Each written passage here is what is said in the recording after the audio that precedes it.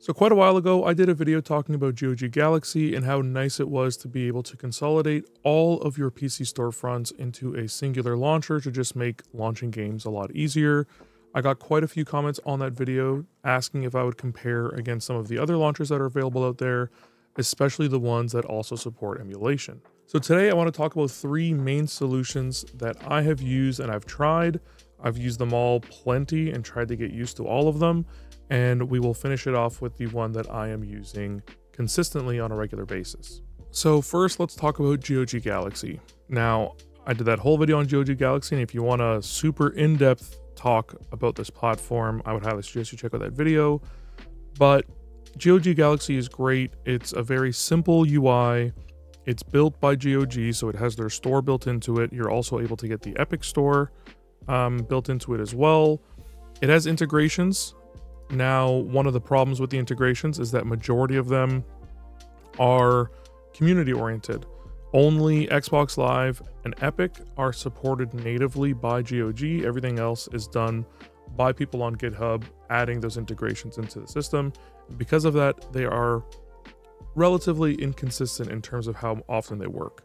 Um, Steam is often really easy to get going, but Ubisoft and Battle.net to be fair, across almost all three of the options we're going to be talking about today are extremely finicky, and just the way that they do their login procedures, I guess, causes a lot of problems. But I often do have problems with at least one or two integrations on GOG Galaxy, which is unfortunate.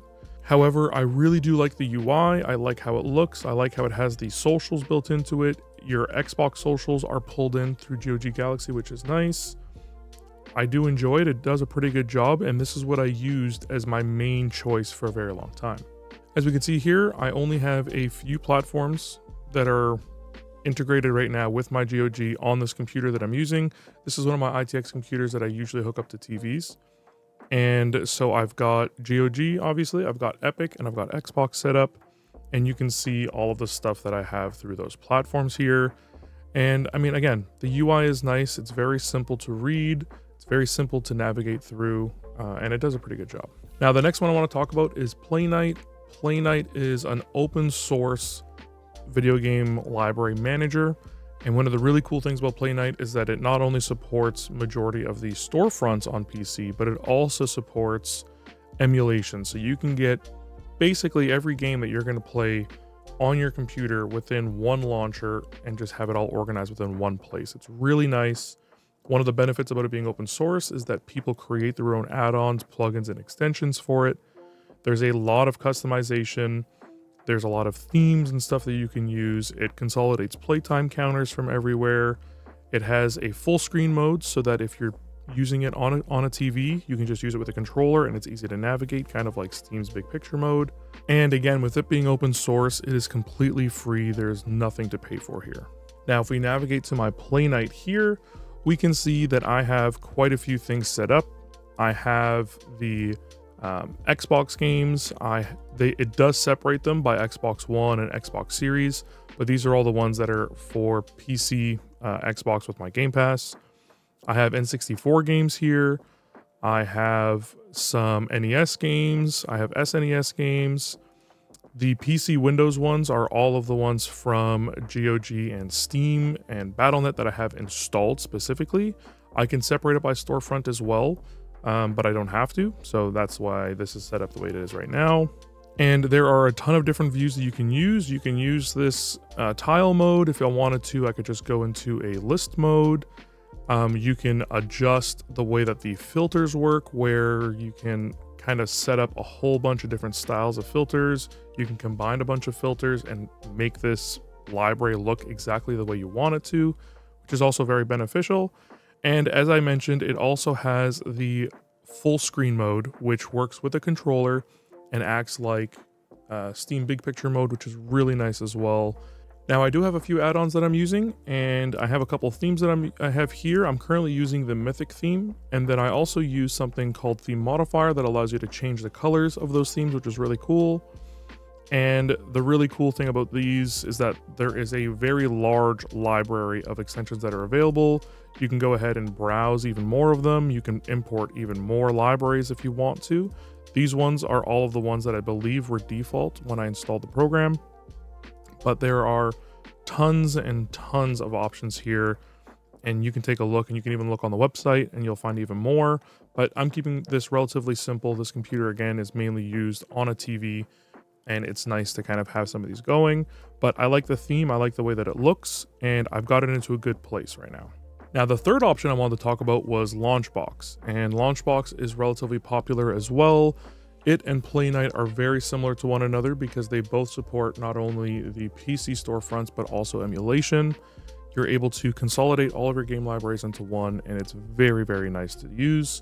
If we hop into my Launchbox here, you can see that I have uh, all of my Windows games here, and then I have some consoles imported as well. And it does a good job. The UI looks nice. It's a little bit more simplified. It's um, a little more, I guess, material modern looking, which is nice. And I mean, Launchbox does a great job. I was able to import everything relatively quickly. It does pull a ton more information. Like you can get full trailers and videos and theme music for every single thing that you import if you want to. And it's pretty intense. Their importing um, method is a little bit different and it has a little bit more options when you do import. So let's go ahead and import the completely legal N64 games that I have that are from my own N64, obviously. I'm not a criminal. And as you can see here, so we'll be able to choose if we want to move the files over. It's going to go ahead and grab local metadata. And then here we can choose the images that it's going to choose for the windows. We can also ask if it, wants to have movies in the background and videos. We can have it apply bezels to this platform as well. And we can change a bunch of other options in terms of the emulation. So whether it's going to, you know, reduce the fact that there's maybe duplicate games in your in your folders, all that kind of stuff. It'll grab PDF files for game manuals and then it's going to go ahead and scan my folder. It's going to find everything that I've got here, and then it's going to finish and it's going to start to import all of those. And then once it's done importing all of those, it is then going to go ahead and try to grab all that metadata, grab all the covers, grab videos if I had asked for theme music, all of that kind of stuff. So let's let that finish real quick. And as we can see, our N64 games here are added, and now it is downloading plenty of files, and depending on how many things you told it to grab, it's going to grab quite a few, um, and it'll take a while. But again, plenty of information here. It does a lot of the similar stuff that Playnite does in terms of the stats and the data that it shows you, and it does a relatively decent job. Now, one of the things that I don't like about Launchbox is that they do lock tons of stuff behind premium features. For example, I wanted to go ahead and try to use the big picture mode, but that is their big box, which is a premium feature only. I also wanted to separate um, or visually separate my games from different platforms within the Windows breakdown so that it's different storefronts.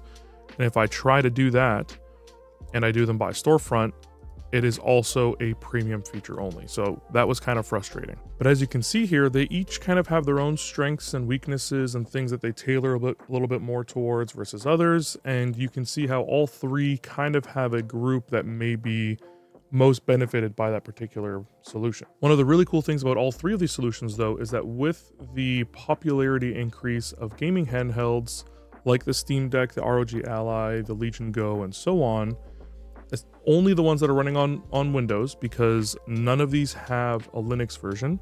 They're only on Windows, and then GOG is the only one that also supports Mac. But with especially the ROG Ally and the Legion Go, these can really help simplify the process for launching games on those handhelds instead of having to jump from store to store, which becomes even more difficult when you do not have a mouse to use and using a full screen mode is super beneficial, and the fact that you have to pay for it with Launchbox is kind of a bummer. So with all that said, I want to talk about some pros and cons for each platform. So if we're going to talk about GOG first, the pros is that it's simple, It's got a very nice UI. It's got some great stats and data. It's really nice that the social integrations are there with Xbox and they plan on bringing more, but there is currently not as much as I'd like. And it also works on Mac OS, which none of the other options do. For the cons, however, most integrations, as I mentioned, are community driven and therefore they can run into issues. And GOG has been in beta for almost five years, and there has not been significant changes to it since. They have not added a bunch of the added features that they had mentioned, and it just seems a little bit stagnant. And then obviously, it does not include emulation support. For Playnite, the pros are that it's very customizable. It's open source, which means that it has a lot of support from a lot of different people and it does not rely solely on the original developer. It supports emulators and PC storefronts. Because of that large community and the open source, there are tons of plugins and extensions available. And just like GOG, it has all that stats and data that may be interesting to a lot of people. The cons, however, is that it can be a little bit daunting to set everything up. The UI is hit or miss for some, it seems. I don't mind it at all and I like it, but I did go ahead and download a custom theme to make it look the way that I wanted it to. And also, as great as the add ons and extensions are, for some people, having to download something in addition to get functionality that they're looking for isn't ideal. I understand that. It's not a problem for me, but I understand that some people aren't super tech savvy and may not be comfortable trying to download add ins or extensions. And for Launchbox, the pros is that just like Playnite, it's got emulator and PC storefront support. It is a very simple setup for importing any of your libraries, including your ROM libraries for emulators. It's got a very friendly UI, it's got a large community, and it's also got plenty of stats and data if that's what you're interested in. The cons, and the biggest one by far, is that it locks certain features behind a paywall. And, you know, the full screen mode being locked behind a paywall is a massive one because that is a major downside. And most people are not going to want to pay for a launcher, especially when other ones have that as a free option. The other things that are locked behind paywall are theme customizations and saved filters. Theme customizations, I guess I kind of get. It's not a major requirement, but it sucks that it's locked behind a paywall. And saved filters are such a simple thing, and them being locked behind a paywall is pretty annoying as well. I didn't really like that, and that's one of the reasons I don't use Launchbox at all. And it's just overall not nearly as customizable as Playnite. With all that said, GOG is still one that I recommend for people who want a very simple interface to use and just want to get something set up, easy to go, easy to use with their GOG, Xbox, Steam, and Epic platforms, which are the most popular ones by far for a lot of people. But I personally have been using Playnite for the last while now, and I'm really, really enjoying it. I like all the features that are there. I like how customizable it is. I like how everything is free. The community is great. There's constant updates. People are creating new things all the time, and I really do enjoy it. And for the computer that I'm using mainly on the TV, it is a lifesaver. Having that full screen mode, being able to do everything with just a controller on the other side of the room is very, very nice. I like hosting little game tournaments with Mortal Kombat and, you know, uh, Ultimate Chicken Horse and tons of like local multiplayer games like that, and being able to do that all very simply without having to pull out a mouse and keyboard and try to navigate through Steam and do all these things is nice. Steam Big Picture mode is great and it works really, really nice. You know, it's gotten some major improvements because of the Steam Deck specifically, but being able to do that with other platforms as well and a bunch of my Xbox games since I have the Game Pass and all that kind of stuff is just great. And I really do love Playnite, and it's the one that I would recommend to most people who want a more expansive launcher.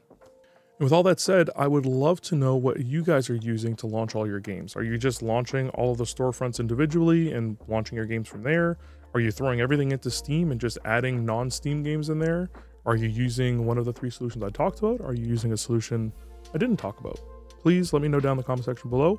Be very interested to see what you guys are doing. But that's it. A pretty good wrap up of the platforms. Again, this was a really fun thing to look into. I used each of the launchers for at least two to three months, and I hopped between them quite a bit, actually, which was really, really nice. Again, like I said, I used GOG for a really long time. Then I tried Launchbox for a little bit. I got kind of pissed off about all the locked off features for premium. I switched over to Playnite, spent maybe about a week getting things kind of the way I wanted it to, and it has been fantastic. I have it on this little computer, I have it used on my main computer. It is great. I'm really enjoying it. It sucks that it doesn't exist on the Linux side of things, but the Linux support for just games in general and platforms isn't great. So, understandable right now. And yeah, really do hope you found this video helpful. And if not, I at least hope you found it interesting. If you did, I'd really appreciate it. If you like subscribed, if you have any questions, comments, or feedback, please feel free to leave those down in the comment section below. Big thanks my Patreon sponsors, Thoughts Time and Step Back, and thank you for watching to the end of this video. If you do want to see any of my other videos where I talk about computer stuff and tips and tricks, you can check out the playlist right up here. And as always, stay safe out there. I'll see you next time.